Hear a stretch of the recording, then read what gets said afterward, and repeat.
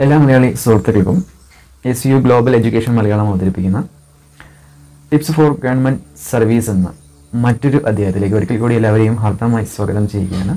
ഞാൻ നിങ്ങളുടെ സ്വന്തം അസുമോനാണ്.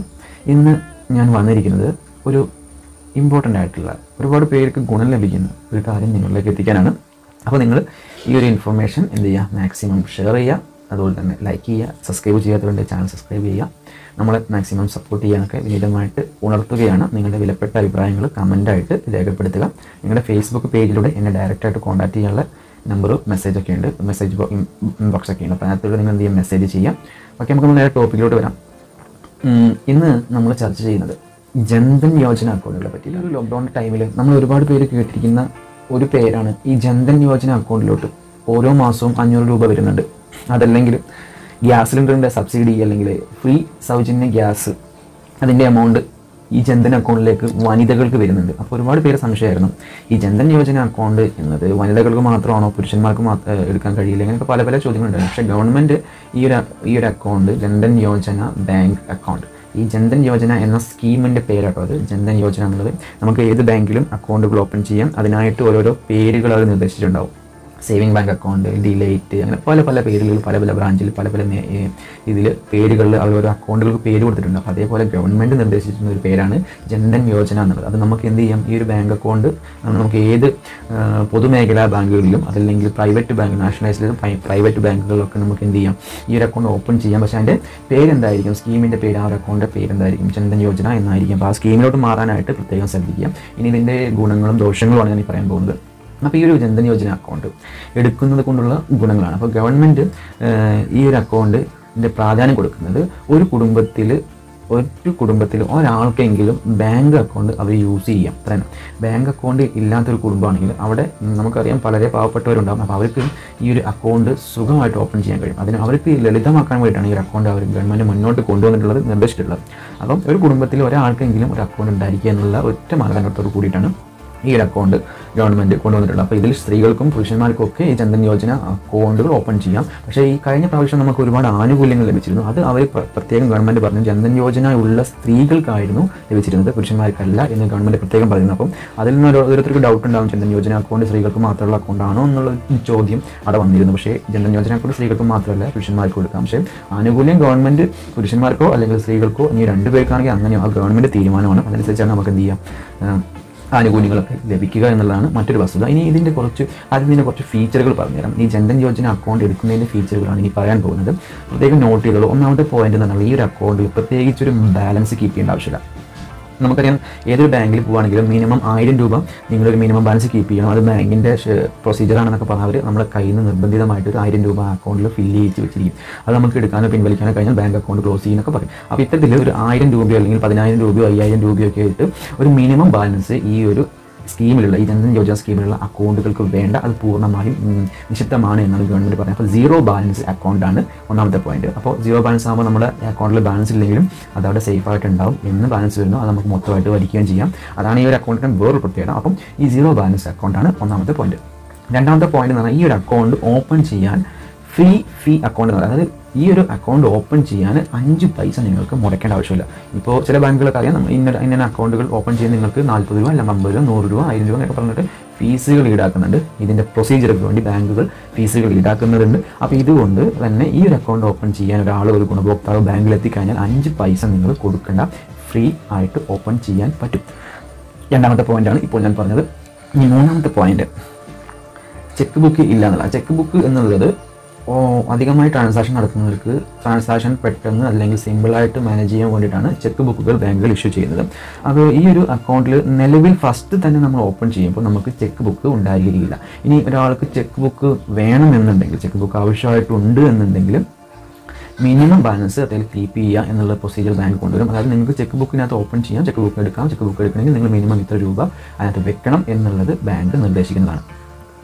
അതുപോലെ തന്നെ ഇതിന്റെ കൂടെ വേറൊരു പ്രത്യേകമാണ് സൗജന്യ A T M card A T M card അറിയാം. A T M card master card RuPay card ഒരുപാട് പേരുകളിൽ കാർഡുകളുണ്ട്. അപ്പം ഈ ഒരു അക്കൗണ്ട് ഓപ്പൺ ചെയ്തതിലൂടെ ഗവൺമെന്റ് നൽകുന്നത് റുപ്പേ എന്ന പേരുള്ള റുപ്പേ കാർഡാണ് ഈ ഒരു ബ്രാൻഡ് അക്കൗണ്ടിലൂടെ നമുക്ക് ഓപ്പൺ ചെയ്യുന്ന സമയത്ത് തന്നെ ലഭിക്കുക. ആ കാർഡ് ഉപയോഗിച്ച് നമുക്ക് എ ടി എം വഴിയോ അല്ലെങ്കിൽ ആ കാർഡ് ഉപയോഗിച്ച് നമുക്ക് മൊബൈൽ റീചാർജ് ചെയ്യുക അല്ലെങ്കിൽ ആ കാർഡ് ഉപയോഗിച്ച് നമുക്ക് ഓൺലൈൻ ട്രാൻസാ ഓൺലൈനിലെ സാധനങ്ങൾ വാങ്ങി അല്ലെങ്കിൽ ഓൺലൈൻ ട്രാൻസാക്ഷൻസ് നടത്തുകയോ ഒക്കെ നമുക്ക് ഈ റുപ്പേ കാർഡ് വെച്ചിട്ട് എന്ത് ചെയ്യാം?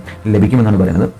അത് തന്നെയല്ല ഈ റുപ്പേ കാർഡിന് വേറെ പ്രത്യേകതയുണ്ട്. ഈ റുപ്പേ കാർഡ് ആക്റ്റീവായ റുപ്പേ കാർഡ് ആണെങ്കിലും നിങ്ങൾക്ക് രണ്ട് ലക്ഷം രൂപയുടെ ആക്സിഡന്റൽ ഇൻഷുറൻസ് എന്ന് പറഞ്ഞ കവറേജ് ഈ ഒരു അക്കൗണ്ട് വഴി ലഭിക്കുന്നുണ്ട്. രണ്ട് ലക്ഷം രൂപ മാക്സിമം രണ്ട് ലക്ഷം രൂപയുടെ ആക്സിഡന്റൽ ഇൻഷുറൻസ് കവറേജ് സൗജന്യമായിട്ട് ലഭിക്കുന്നുണ്ട്. അപ്പോൾ ഈ ഒരു ആക്സിഡന്റൽ ഇൻഷുറൻസ് കവറേജ് നമുക്കറിയാം അപകടങ്ങൾ പറ്റുകയാണ്. ദാരുണമായ മരണം അങ്ങനത്തിലുള്ള ഈ ഒരു അക്കൗണ്ടിലുള്ള ഉടമ ദാരുണമായി എന്തെങ്കിലും സംഭവിക്കുകയാണെങ്കിൽ അവർക്ക് എന്ത് ചെയ്യാം? രണ്ട് ലക്ഷം രൂപ വരെ ഇൻഷുറൻസ് പരിരക്ഷ നമുക്ക് നേടിയെടുക്കാൻ കഴിയുന്ന ഒരു അക്കൗണ്ടും കൂടിയാണ് ഈ ജന്ധൻ യോജന അക്കൗണ്ട് അപ്പോൾ ഒരു ഈ ഒരു ഇൻഷുറൻസ് ലഭിക്കുന്നതിന് ഒരു ഒറ്റൊരു കണ്ടീഷനെ അവർ പറയുന്നുള്ളൂ.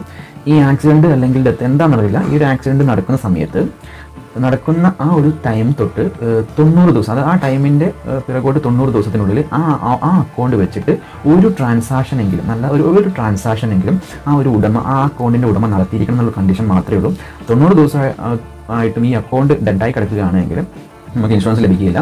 ഈ ഒരു ആക്സിഡന്റ് നടക്കുന്ന നടന്നതിന്റെ തൊണ്ണൂറ് ദിവസം പിന്നിലായിട്ട് ആ ദിവസങ്ങളിൽ എന്തെങ്കിലും ഒരു തൊണ്ണൂറ് ദിവസത്തിന്റെ ഇടയിൽ ഒരു ട്രാൻസാക്ഷൻ എങ്കിലും നല്ലൊരു ട്രാൻസാക്ഷൻ ഈ അക്കൗണ്ടിൽ അക്കൗണ്ട് ഹോൾഡർ നടത്തിയിരിക്കുക. അതായത് ആ അക്കൗണ്ട് ആക്റ്റീവ് ആണ് ഈ തൊണ്ണൂറ് ദിവസത്തിനുള്ളിൽ. അതായത് അയാൾ അദ്ദേഹത്തിന് ആക്സിഡന്റ് സംഭവിക്കുന്നതിന് തൊണ്ണൂറ് ദിവസത്തിന് മുമ്പായിട്ട് ഈ ഇതിൽ അക്കൗണ്ട് നല്ല ആക്റ്റീവ് ആണ് എന്നുള്ളത് ബാങ്കിന് പ്രൂവ് ചെയ്യുക. അതായത് ഈ തൊണ്ണൂറ് ദിവസത്തെ കാലാവധി അപ്പോൾ ഒരു അക്കൗ ഒരു ട്രാൻസാക്ഷൻ എങ്കിലും അദ്ദേഹം നടത്തിയതായിട്ടുള്ള പ്രൂഫ് ഉണ്ടെങ്കിൽ നിങ്ങൾക്ക് രണ്ട് ലക്ഷം രൂപ എന്ത് ചെയ്യാം? വാങ്ങിയെടുക്കാൻ കഴിയും. അതാണ് ഈ അക്കൗണ്ടിന്റെ വേറൊരു പ്രത്യേകത നമുക്കറിയാം ഗവൺമെന്റ് സാധാരണക്കാരായ പാവപ്പെട്ട ജനങ്ങൾക്ക് ലളിതമായ രീതിയിലും അവർക്ക് ഒരു അക്കൗണ്ടിന്റെ പ്രാധാന്യവും അവരെ ഈ ബാങ്കിങ് മേഖല ബാങ്കിങ് സിസ്റ്റത്തിലേക്ക് സേവിങ് സിസ്റ്റത്തിലേക്ക് കൊണ്ടുവരാനുള്ള പ്രാധാന്യമൊക്കെ കണക്ക് ഇത്തരം ആനുകൂല്യങ്ങളൊക്കെ ഈ ഒരു അക്കൗണ്ടിൽ അവർ ഇൻക്ലൂഡ് ചെയ്തിട്ടുള്ളത്. അപ്പോൾ അത് തന്നെയാണ് ഈ ഒരു ഇത്തരത്തിലുള്ള ഏതെങ്കിലും ബ്രാഞ്ചുകൾ അല്ലെങ്കിൽ ഏതെങ്കിലും അക്കൗണ്ടുകൾ ഇത്തരത്തിലുള്ള ഒരു ഇൻഷുറൻസ് പ്രീമിയം ഒന്നും ലഭിക്കില്ല.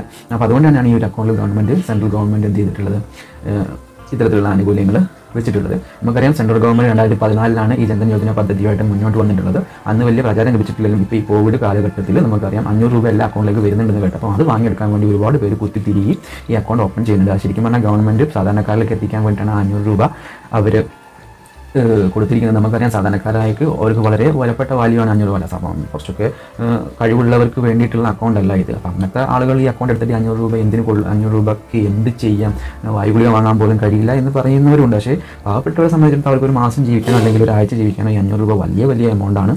അപ്പോൾ അത്തരത്തിലുള്ള ആനുകൂല്യങ്ങൾ ലഭിക്കുന്നത് ഈ ഒരു അക്കൗണ്ട് വെച്ചിട്ടാണ് എന്ന് സാന്ദർഭികമായിട്ട് വളർത്തുകയാണ് അതുപോലെ തന്നെ ആനുകൂല്യം ഉള്ള ജൻധൻ അക്കൗണ്ടുള്ള വനിതകൾക്ക് ആണ് ഈ കഴിഞ്ഞ പ്രാവശ്യം നമുക്ക് അറിയാം. ഗവൺമെന്റ് കൊടുത്തത് ജൻധൻ യോജന. അപ്പോൾ സ്ത്രീകൾ ജനങ്ങളുടെ ഇടയിൽ കുറച്ചും കൂടെ പാവപ്പെട്ടവർക്കിടയിൽ കുറച്ചും കൂടെ ദുർബല സ്ത്രീകളായതുകൊണ്ടായിരിക്കാം. അപ്പം ആനുകൂല്യങ്ങൾ ജൻധൻ യോജന അക്കൗണ്ടുള്ള സ്ത്രീകളിലേക്ക് ഗവൺമെന്റ് ഈ കഴിഞ്ഞ പ്രാവശ്യങ്ങളൊക്കെ ആയിരത്തഞ്ഞൂറ് രൂപയോ ഒക്കെ നമുക്ക് നൽകിയിരുന്നത്. അപ്പം അതുപോലെ തന്നെ നമുക്ക് ഈ ഒരു അക്കൗണ്ട് ഉള്ളതിന് വേറെ പ്രത്യേകത ഞാൻ പറഞ്ഞുതരാം. ആറാമത്തെ പോയിന്റ് അതായത് അക്കൗണ്ട് ഉള്ളവർക്ക് പെട്ടെന്ന് ഗവൺമെന്റിന്റെ എന്ത് പ്രശ്നം ഗവൺമെന്റിന്റെ എന്ത് ആനുകൂല്യങ്ങളുണ്ടോ എന്ത് പെൻഷൻ പദ്ധതികളുണ്ടോ എന്ത് ഗവൺമെന്റ് ഭാഗത്ത് തൊഴിലുറപ്പ് പരമായിട്ടോ ഗ്യാസിന്റെ സബ്സിഡി ആയിട്ടോ സ്കോളർഷിപ്പ് പരമായിട്ടോ ഗവൺമെന്റ് എന്ത് ആനുകൂല്യങ്ങൾ നൽകുന്നുണ്ട് എങ്കിൽ ആ എമൗണ്ട് ആദ്യം ഫില്ല് ചെയ്യുക ജൻധൻ യോജന അക്കൗണ്ടുകളിലേക്കായിരിക്കും അതിനുശേഷമാണ് ബാക്കിയുള്ള അക്കൗണ്ടുകളിലേക്കും ബാക്കിയുള്ള ആളുകൾ ബ്രാഞ്ചിൽ ആളുകളിലെ ഇതിലേക്കും ബാക്കിയുള്ള സ്കീമുകളിലുള്ള അക്കൗണ്ടുകളിലേക്കും ഫണ്ട് ട്രാൻസ്ഫർ ചെയ്യുക. ഫസ്റ്റ് മുൻഗണന ആർക്കായിരിക്കും? ജനൻ യോജന അക്കൗണ്ടുള്ളവർക്കായിരിക്കും എന്നും കൂടെ ഉണർത്തുകയാണ്. പിന്നെ ഏഴാമത്തെ പോയിന്റ് ഓവർ ഡ്രാഫ്റ്റ് സൗകര്യമാണ്. ഓവർ ഡ്രാഫ്റ്റ് ഓവർ ഡ്രാഫ്റ്റ് സൗകര്യം എന്ന് പറഞ്ഞിട്ടുണ്ടെങ്കിൽ അധികമായിട്ട് നമുക്ക് എന്ത് ചെയ്യാം? ലോൺ എടുക്കാം എന്നുള്ളതാണ്. അതിന്റെ എമൗണ്ട് പറയുന്നത് പതിനായിരം രൂപയാണ്. പതിനായിരം രൂപ വരെയാണ് ലഭിക്കുക. പതിനായിരം രൂപ എന്നല്ല പതിനായിരം രൂപ വരെയാണ് ലഭിക്കുക. അപ്പോൾ അതിനുള്ളിൽ എത്ര എമൗണ്ട് ആവാം. മാക്സിമം പോയാൽ പതിനായിരം രൂപ വരെ ലഭിക്കും. ഈ പതിനായിരം രൂപ ലഭിക്കുക എന്നുള്ളത് ഗവൺമെന്റിന്റെ ഒരു നിർദ്ദേശമാണ് എങ്കിലും അതിന്റെ തീരുമാനങ്ങൾ എടുക്കുക. അതായത് ബാങ്കിൽ അതായത് ബാങ്കിന്റെ ബ്രാഞ്ചുകളായിരിക്കും നിങ്ങളുടെ അക്കൗണ്ടിന്റെ സ്റ്റാറ്റസ് നോക്കിയിട്ട് നിങ്ങളുടെ നിലവാരം നോക്കിയിട്ടായിരിക്കും ബാങ്കുകൾ തുക നിശ്ചയിക്കുക. നിങ്ങൾ നല്ല ട്രാൻസാക്ഷൻ നടത്തുന്ന ഒരാളാണെങ്കിൽ നിങ്ങൾക്ക് പതിനായിരം രൂപ വരെ ലഭിക്കും. പക്ഷേ നിങ്ങൾ വല്ലപ്പോഴും ഒരു പത്ത് രൂപ ഇരുപത് രൂപ അല്ലെങ്കിൽ പത്ത് രൂപ ഇരുപത് രൂപ റീചാർജ് ചെയ്യുന്ന ഒരു അങ്ങനത്തെ ട്രാൻസാക്ഷൻ നടത്തുന്ന ആളുകളാണെങ്കിൽ നിങ്ങൾക്ക് ഒരു പക്ഷേ ഓവർ ഡ്രാഫ്റ്റ് ചെറിയ എമൗണ്ടുകളായിരിക്കും ലഭിക്കുക. അതാണ് ഇതിന്റെ ഒരു പ്രത്യേകത ട്രാൻസാക്ഷന്റെ ഒരു വാല്യൂ നോക്കിയിട്ട് ബ്രാഞ്ചുകളായിരിക്കും ബാങ്ക് ബ്രാഞ്ചുകളായി നിങ്ങൾ ഏത് ബ്രാഞ്ചാണോ അവരായിരിക്കും തീരുമാനിക്കാൻ നിങ്ങൾക്ക് എത്ര രൂപ നൽകണം നിങ്ങൾ എത്ര രൂപ തിരിച്ചടയ്ക്കും എന്നുള്ളത് തന്നെയുമല്ല ഈ പതിനായിരം രൂപ നിങ്ങൾക്ക് ലോൺ ഇതിനകത്ത് സൗജന്യമായിട്ട് ഈടില്ലാതെ എടുക്കാം. ഈടില്ലാതെ ഈ പതിനായിരം രൂപ കൈവായ്പ നിങ്ങൾ ഈ അക്കൗണ്ട് വഴി എടുക്കുകയാണെങ്കിൽ നിങ്ങൾക്ക് പന്ത്രണ്ട് ശതമാനം രൂപ പന്ത്രണ്ട് ശതമാനം വരെ ഈ ഒരു എമൗണ്ടിന് പലിശ ഈടാക്കുന്നതാണ്. പന്ത്രണ്ട് ശതമാനം പലിശ ഉണ്ടാകുന്നതാണ് അതുപോലെ തന്നെ കുടുംബത്തിൽ ഒരുപാട് പേർക്ക് ജൻധൻ അക്കൗണ്ട് ഉണ്ട് എങ്കിൽ വരുമാനം കൂടുതലുള്ള ഒരാൾക്കായിരിക്കും ഈ ഫ്രീ ലോൺ ലഭിക്കുക എന്നുള്ളത്. ആറ് മാസം ആറ് മാസം നല്ല രീതിയിൽ അക്കൗണ്ട് ട്രാൻസാക്ഷൻ ഉണ്ടായിരിക്കണം എന്നുള്ളതാണ് ഇവർ പറയുന്നത്. ആറ് മാസം എന്ത് ചെയ്യുക നല്ല നല്ല സ്റ്റാൻഡേർഡ് ആയിട്ടുള്ള ആക്റ്റീവായിട്ട് നല്ല നല്ല എമൗണ്ടുകൾ നമ്മൾ എന്ത് ചെയ്യുക നല്ല നല്ല ട്രാൻസാക്ഷൻസുകൾ നടത്തുകയാണ് എങ്കിലും കൂടിയാണ് ഈ ഒരു ലോണിന് നമുക്ക് എന്ത് ചെയ്യാം? നമ്മളെ അക്സെപ്റ്റ് ചെയ്യുകയുള്ളൂ നമ്മൾ എന്ത് ചെയ്യുള്ളൂ? അവർ തിരഞ്ഞെടുക്കുകയുള്ളൂ ചൂസ് ചെയ്യുകയുള്ളൂ എന്നാണ് ഞാൻ പറയാനുള്ളത്. മറ്റൊരു പോയിന്റ് എട്ടാമത്തെ പോയിന്റാണ് നാല് ഫ്രീ ട്രാൻസാക്ഷൻസ് ഒരു മാസത്തിൽ ഒരു മാസത്തിൽ നമുക്ക് ട്രാൻസാക്ഷൻസ് നടത്താം ഇപ്പോൾ ഫണ്ട് അയക്കാം അല്ലെങ്കിൽ റീചാർജ് ചെയ്യാം. ഓൺലൈൻ വഴി സാധനം അങ്ങനെ എന്ത് വേണമെങ്കിലും. നാല് ട്രാൻസാക്ഷൻസ് നമ്മളിപ്പോൾ എ ടി എം യൂസ് ചെയ്യുകയാണെങ്കിൽ അത് ട്രാൻസാക്ഷൻസ് ആണ്. അങ്ങനത്തെ നാല് ട്രാൻസാ ഒരു മാസം നാല് ട്രാൻസാക്ഷൻ നടത്തുന്നതിന് ഒരു ഫീസും അല്ലെങ്കിൽ ഒരു എമൗണ്ടോ ഒരു തുകയോ ഒന്നും ഈടാക്കുന്നതല്ല. സൗജന്യമായിരിക്കും ഈ നാല് ട്രാൻസാക്ഷൻ ഇനി അഞ്ചാമത്തെ ട്രാൻസാക്ഷന് എന്ത് ചെയ്യും? ബാങ്ക് ചെറിയൊരു ഫീ ചെറിയൊരു ഫീ നിങ്ങൾക്ക് ഈടാക്കും. അത് എല്ലാം കൂടി നിങ്ങൾ വർഷത്തിൽ ഒരിക്കലായിരിക്കും. പന്ത്രണ്ട് മാസത്തിലെ എല്ലാ എമൗണ്ടും കൂടി വർഷത്തിൽ ഒരിക്കലായിരിക്കും നിങ്ങൾ നിന്ന് അക്കൗണ്ടിൽ നിന്ന് ഈടാക്കില്ല ഓരോ മാസം ഈടാക്കില്ല. പന്ത്രണ്ട് മാസത്തെ കൂടെ ഒരുമിച്ചായിരിക്കും ഈടാക്കുക. അപ്പം ഒരു മാസം നാല് ട്രാൻസാക്ഷൻ സൗജന്യമായിരിക്കും. അതിനുശേഷം നിങ്ങൾ വീണ്ടും വീണ്ടും ട്രാൻസാക്ഷൻ നടത്തുകയാണെങ്കിൽ ചെറിയൊരു എമൗണ്ട് അവർ കുറേ ചെറിയൊരു എമൗണ്ട് നിങ്ങളുടെ കയ്യിൽ നിന്ന് ഈടാക്കുന്നതായിരിക്കും. അപ്പോൾ അതാണ് മറ്റൊരു പോയിന്റ് പിന്നീട് വരുന്നത് എല്ലാ പൊതുമേഖലാ ബാങ്കുകളും നമുക്കറിയാം. പ്രൈവറ്റ് ബാങ്കുകൾ നാഷണലൈസ്ഡ് പ്രൈവറ്റ് ബാങ്കുകൾ ഇവിടെയെല്ലാം നിങ്ങൾക്ക് ഈ അക്കൗണ്ട് ഓപ്പൺ ചെയ്യാൻ കഴിയും. ഇത് ഓപ്പൺ ചെയ്യാൻ വേണ്ട വേറൊരു പ്രത്യേകത നിങ്ങൾക്കറിയാം ഒരു അക്കൗണ്ട് ഉള്ളവർക്ക് ഒരു ഏതെങ്കിലും തരത്തിൽ ഒരു സേവിങ് അക്കൗണ്ട് ഉള്ളവർക്ക് ജൻധൻ യോജന അക്കൗണ്ട് എടുക്കാൻ സാധിക്കില്ല. ഒരു ബാങ്ക് അക്കൗണ്ടും നിലവിലില്ലാത്തവർക്കാണ് ജൻധൻ യോജന അക്കൗണ്ട് എടുക്കാൻ സാധിക്കുകയുള്ളൂ.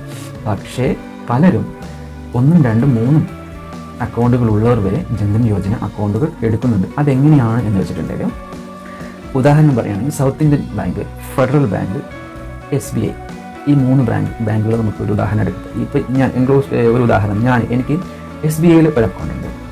എനിക്ക് സൗത്ത് ഇന്ത്യൻ ബാങ്കിലും ഒരു അക്കൗണ്ട് ഉണ്ട്.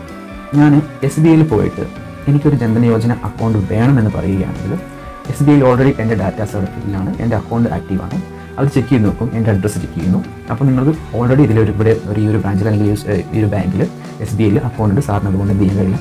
പുതിയൊരു account Jan Dhan Yojana account open ചെയ്യാൻ കഴിയില്ല എന്നവർ പറയുന്നു. പിന്നെ വേണമെങ്കിൽ അവർക്ക് എന്റെ saving bank saving bank account ഞാൻ ഏതാണോ ബാങ്കിലുള്ള ആ bank account scheme general Yojana account സ്കീമിലേക്ക് അവർക്ക് വേണമെങ്കിൽ എന്ത് ചെയ്യാം? ചേഞ്ച് ചെയ്യാൻ സാധിക്കും. അത് ആ ബാങ്കിന്റെ ഉത്തരവാദിത്തമാണ്. നമുക്കൊന്നും ചെയ്യാൻ കഴിയില്ല. ബാങ്ക് അനുവദിക്കുകയാണ് എങ്കിൽ നമുക്ക് എന്ത് ചെയ്യാം? ചേഞ്ച് ചെയ്യാം എന്നേ ഉള്ളൂ. ഒരു പക്ഷേ അവിടെ അത് അനുവദിക്കില്ല. കാരണം ഈ ബാങ്കുകൾക്ക് ഈ ഒരു ജനധൻ യോജന അക്കൗണ്ട് എടുക്കുന്നത് കൊണ്ട് അവർക്ക് അതൃപ്തിയാണുള്ളത്. കാരണം മിനിമം സീറോ ബാലൻസ് ആണ്. അവർക്ക് വേണ്ടത്ര വരുമാനം എന്ത് ചെയ്യില്ല? സാധാ അക്കൗണ്ടിൽ അപേക്ഷിച്ച് കൊടുക്കുകയാണെങ്കിൽ ഈ അക്കൗണ്ടിന് ലഭിക്കില്ല. അതുകൊണ്ട് അവർ സപ്പോർട്ട് ചെയ്യില്ല. എങ്കിലും നമ്മൾ പ്രഷർ കൊടുക്കുകയാണെങ്കിൽ അവരൊരു പക്ഷേ നിങ്ങളുടെ ബാങ്ക് അക്കൗണ്ട് ജനറൽ യോജനയാക്കി കൺവേർട്ട് ചെയ്ത് തന്നേക്കാം. അപ്പോൾ അതങ്ങനെ. അപ്പോൾ രണ്ടാമത്തെ ബാങ്ക് എനിക്കുള്ള സൗത്ത് ഇന്ത്യൻ ബാങ്കാണ് അതിനും എനിക്ക് അക്കൗണ്ട് ഉണ്ട്. പിന്നുള്ളത് ഫെഡറൽ ബാങ്കാണ് ഫെഡറൽ ബാങ്കിൽ എനിക്ക് അക്കൗണ്ട് ഒന്നുമില്ല. എന്റെ ഒരു ഡാറ്റാസും ഫെഡറൽ ബാങ്കിലില്ല അത് കാരണം ഞാൻ ഫെഡറൽ ബാങ്കിന്റെ ബ്രാഞ്ചിലേക്കാണ് ചെല്ലുന്നത്. എസ് ബി ഐയിൽ പോയി സൗത്ത് ഇന്ത്യൻ ബാങ്കിൽ പോയി അവിടെ രണ്ടും ലഭിക്കില്ല. ഓൾറെഡി എനിക്ക് അക്കൗണ്ട് ഞാൻ എന്ത് ചെയ്യുന്നത് തൊട്ടടുത്തുള്ള ഫെഡറൽ ബാങ്കിന്റെ ബ്രാഞ്ചിൽ പോയിട്ട് അക്കൗണ്ട് ഓപ്പൺ ചെയ്യാനായിട്ട് ഫോം ഫില്ല് ചെയ്യുന്നു. അവർ ജൻധൻ യോജന അക്കൗണ്ട് എനിക്ക് ഓപ്പൺ ചെയ്ത് കഴിഞ്ഞു. എന്തുകൊണ്ടാണ് ഒരു ഒരു അക്കൗണ്ട് ഒരു അക്കൗണ്ടും ഇല്ലാത്തവർക്ക് ജന്ധൻ യോജന അക്കൗണ്ട് ഓപ്പൺ ചെയ്യാൻ സാധിക്കൂ എന്ന് പറയുകയും ഈ ബ്രാഞ്ചിൽ ഒരു അക്കൗണ്ട് പോലും ഇല്ലാത്ത ഫെഡറൽ ബാങ്കിൽ എനിക്ക് ഈ ഒരു അക്കൗണ്ട് ഓപ്പൺ ചെയ്യാൻ കഴിയുന്നത് എന്ന് വെച്ചിട്ടുണ്ടെങ്കിലും നിലവിൽ ഈ ഫെഡറൽ ബാങ്ക് അല്ലെങ്കിൽ ഇത്തരത്തിലുള്ള ബാങ്കുകൾക്ക് തമ്മ തമ്മിൽ ഒരാളുടെ ഡീറ്റെയിൽസുകൾ അല്ലെങ്കിൽ ഒരാളുടെ അക്കൗണ്ട് ഡീറ്റെയിൽസുകൾ അങ്ങോട്ടും ഇങ്ങോട്ടും ഷെയർ ചെയ്ത് ഡാറ്റ സേവ് ചെയ്ത് അറിയാൻ കഴിയില്ല. നേരെ മറിച്ച് ഗവൺമെന്റിന് അറിയാൻ കഴിയുന്ന എത്ര അക്കൗണ്ടിൽ ആക്റ്റീവാണ് എന്നുള്ളത് ഗവൺമെന്റിന് സുഖമായിട്ട് കണ്ടുപിടിക്കാൻ പക്ഷേ ബാങ്കുകൾക്ക് അങ്ങോട്ടും ഇങ്ങോട്ടും ഈ ആൾക്ക് എത്ര ബാങ്കുകളിൽ അക്കൗണ്ട് ഉണ്ട് എന്നുള്ളത് കണ്ടുപിടിക്കാൻ കഴിയില്ല. അപ്പോൾ ഫെഡറൽ ബാങ്ക് അവർ ഡാറ്റാബേസ് നോക്കുമ്പോൾ അവർ ആ ബ്രാഞ്ചിലോ അല്ലെങ്കിൽ അവർ ഫെഡറൽ ബാങ്കിന്റെ ഏതെങ്കിലും ശാഖകളിലൊന്നും എനിക്ക് അക്കൗണ്ടുകളില്ല അപ്പോൾ അതുകൊണ്ട് തന്നെ ഞാൻ നിർദ്ദേശപ്രകാരം എനിക്ക് അക്കൗണ്ട് ഓപ്പൺ ചെയ്ത് തരാനുള്ള ഉത്തരവാദിത്തം അവർക്ക് ഈ ആവശ്യം യോജന അക്കൗണ്ടുകൾ ഓപ്പൺ ചെയ്ത് തരും ഇനി ഫെഡറൽ ബാങ്ക് പോയി ഇനി ബാങ്കിൽ എനിക്ക് അക്കൗണ്ടില്ല അപ്പോൾ എനിക്ക് വേണമെങ്കിൽ എന്ത് ചെയ്യാം? കനറ ബാങ്കിലും പോയി രണ്ടു അക്കൗണ്ട് ഓപ്പൺ ചെയ്യാം. ഇനി ഒരാൾക്ക് എത്ര വേണമെങ്കിലും അക്കൗണ്ടുകൾ ഇപ്പം നിരവധി സാഹചര്യത്തിൽ ബാങ്കുകൾ അങ്ങോട്ടും ഇങ്ങോട്ടുള്ള ഈ ഒരു കമ്മ്യൂണിക്കേഷൻ ഈ ഒരു ഡാറ്റ കമ്മ്യൂണിക്കേഷൻ ഇല്ലാത്തതുകൊണ്ട് നമുക്ക് എത്ര വേണമെങ്കിലും ബാങ്ക് അക്കൗണ്ടുകൾ ഓപ്പൺ ചെയ്യാം. പക്ഷേ ഗവൺമെന്റിന് ആനുകൂല്യം നിർദ്ദേശിക്കുമ്പോൾ നിങ്ങൾക്ക് ഒരു അക്കൗണ്ടിലേക്ക് മാത്രമായിട്ട് കൊടുക്കാൻ ഗവൺമെന്റിന് കഴിയും. കാരണം ഗവൺമെന്റ് നിങ്ങൾ എവിടെ എന്തൊക്കെ അക്കൗണ്ടുകൾ എവിടെ ഓപ്പൺ ചെയ്ത് കറക്റ്റ് അപ്പോൾ നിങ്ങൾ കടത്തം ചെയ്യാൻ നിൽക്കണ്ട.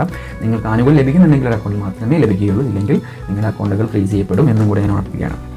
അപ്പോൾ ഇങ്ങനെയാണ് ആളുകൾ ഈ ചന്ദന യോജന അക്കൗണ്ടുകൾ നിരവധിയായിട്ട് കുടുംബത്തിലുള്ളവരെല്ലാം എടുക്കുന്നത്. ഈ ഒരു ഈ ഒരു ഒരു പഴുത് യൂസ് ചെയ്തുകൊണ്ടാണ് എന്നുള്ളത് കൂടെ ഞാൻ ഉണർത്തുകയാണ്. ഇപ്പം ഈ ജനധൻ യോജന അക്കൗണ്ടുകൾ സീറോ ബാലൻസ് അക്കൗണ്ടുകളാണെന്ന് പറഞ്ഞു. പലരും ഇവിടെ ഡൗട്ടാണ് എന്റെ അക്കൗണ്ട് സീറോ ബാലൻസ് അക്കൗണ്ട് ആണ് എന്ന് പറഞ്ഞിട്ട് കമന്റ് കളിക്കാം അപ്പോൾ എന്റെ അക്കൗണ്ട് സീറോ ബാലൻസ് അക്കൗണ്ട് ആണ്. പക്ഷേ എനിക്ക് ജൻധൻ യോജനയുടെ സ്കീമുകളൊന്നും ലഭിക്കുന്നില്ല. എന്റെ ബാങ്ക് അക്കൗണ്ട് സീറോ ബാലൻസ് ആണ്. പക്ഷേ എനിക്ക് ജൻധൻ യോജന ആനുകൂല്യങ്ങൾ ലഭിക്കുന്നില്ല. എല്ലാവർക്കും കൊടുക്കുന്ന ആനുകൂല്യങ്ങൾ എനിക്ക് ലഭിക്കുന്നില്ല എന്ന് പറയും. അപ്പം എല്ലാ സീറോ ബാലൻസ് അക്കൗണ്ടുകളും നിലവിൽ ബാങ്ക് അക്കൗണ്ടിൽ സീറോ ബാലൻസ് ഉണ്ട്. എല്ലാ സീറോ ബാലൻസ് അക്കൗണ്ടുകളും ജൻധൻ യോജന അക്കൗണ്ടുകളല്ല നിങ്ങൾ സീറോ ബാലൻസ് അക്കൗണ്ട് ഒന്നെങ്കിൽ സേവിറ്റോ അല്ലെങ്കിൽ സ്റ്റുഡന്റോ അങ്ങനെ എന്തെങ്കിലും പേരുകളുടെ സ്കീമുകളുടെ അക്കൗണ്ടുകളായിരിക്കും അത് ആ ബ്രാഞ്ചിൽ പോയി തിരുത്തി ജൻധൻ യോജന അക്കൗണ്ട് ആക്കിയാൽ മാത്രമേ നിങ്ങൾക്ക് ഈ ആനുകൂല്യം ലഭിക്കുകയുള്ളൂ. അപ്പോൾ സീറോ ബാലൻസ് അക്കൗണ്ടുകളല്ല ജൻധൻ യോജന അക്കൗണ്ടുകളല്ല എന്നും കൂടെ ഞാൻ ഇതിനകത്ത് ഉണർത്തുകയാണ്. അപ്പം ഈ ഒരു കൊച്ചു ഇൻഫർമേഷൻ ഇതിനെപ്പറ്റി നമുക്കറിയാം വേറെയും ഒരുപാട് കാര്യങ്ങളുണ്ട്. ഇപ്പം ഹെവി ആയിട്ട് ട്രാൻസാക്ഷൻസ് നടത്തുന്നവർക്ക് ബിസിനസ് പർപ്പസിലുള്ളവർക്ക് അതായത് വലിയ വലിയ ബിസിനസ്സുകാർക്ക് അവർക്ക് രണ്ടും മൂന്നും ലക്ഷമൊക്കെ ഒരൊറ്റ ടൈമിൽ ഒരു മാസത്തിൽ ഒരു ദിവസത്തിലൊക്കെ ട്രാൻസാക്ഷൻ നടത്തുന്നുണ്ട്. അപ്പോൾ അത്രക്കാർക്ക് ചിന്തൻ യോജന അക്കൗണ്ട് ഒരിക്കലും ചോദിച്ചതല്ല. കാരണം ഇത് പാവപ്പെട്ട ഒരു അക്കൗണ്ടാണ് ഈ അക്കൗണ്ടിന് ട്രാൻസാക്ഷൻ നടത്തുന്ന ഒരു ലിമിറ്റ് ഉണ്ട്. പക്കാ ലിമിറ്റ് ഉണ്ട്. ആ ലിമിറ്റിന് അപ്പുറം നമുക്ക് എന്ത് ചെയ്യില്ല? ട്രാൻസാക്ഷൻ നടത്താൻ സാധിക്കില്ല. ബ്ലോക്ക് ചെയ്യപ്പെടും. അപ്പോൾ നിങ്ങൾ എന്ത് ചെയ്യുക? നിങ്ങളൊരു ബിസിനസ് മാൻ ആണെങ്കിൽ നിങ്ങൾ ഒരിക്കലും ചിന്തൻ യോജന അക്കൗണ്ട് യൂസ് ചെയ്ത് നിങ്ങൾ സാധാ സേവിംഗ് അക്കൗണ്ട് യൂസ് ചെയ്യുക. അക്കൗണ്ട് കൊണ്ട് സാധാരണ വല്ലപ്പോഴും പെൻഷൻ കിട്ടുന്ന പാവപ്പെട്ട ആളുകൾ അങ്ങനത്തെയുള്ള ചെറിയ ചെറിയ സാധാരണക്കാർക്ക് വേണ്ടിയിട്ടുള്ള ഒരു സഹായമായിട്ട് തുടങ്ങിയിട്ടുള്ള ജനയോജന അക്കൗണ്ട് നിങ്ങൾക്ക് വേണമെങ്കിൽ ഒരു ബാ- അക്കൗണ്ട് ബാക്കപ്പിൽ വെക്കാം. നിങ്ങൾക്ക് വേറൊരു അക്കൗണ്ട് തുടങ്ങി അതിൽ നിന്നും ട്രാൻസാക്ഷൻ നടത്താം. മറ്റേ അക്കൗണ്ട് ജനയോജനയിലേക്കുള്ള ട്രാൻസാക്ഷൻ നടത്താം. അങ്ങനെ രണ്ട് അക്കൗണ്ടുകൾ രണ്ട് ബാങ്കിലായിട്ട് യൂസ് ചെയ്തു നിങ്ങൾക്ക് വേണമെങ്കിൽ ട്രാൻസാക്ഷൻ നടത്താം എന്ന് എന്റെ മറ്റൊരു പോയിന്റാണ് അപ്പോൾ ഈ ഒരു കൊച്ചു ഇൻഫർമേഷൻ നിങ്ങളിലേക്ക് പാസ് ചെയ്തു എന്ന് മാത്രം. അപ്പം ഇന്നത്തെ വിഷയം ഇവിടെ വണ്ടിപ്പ് ചെയ്യണം. നമുക്ക് മറ്റൊരു എപ്പിസോഡിൽ പുതിയ ചിന്തയും പുതിയ അറിവുമായിട്ട് നമുക്ക് വീണ്ടും കണ്ടുമുട്ടാം. ഏറ്റവും ചിന്തകൾ ഉണ്ടാകണം സ്വന്തം മാസം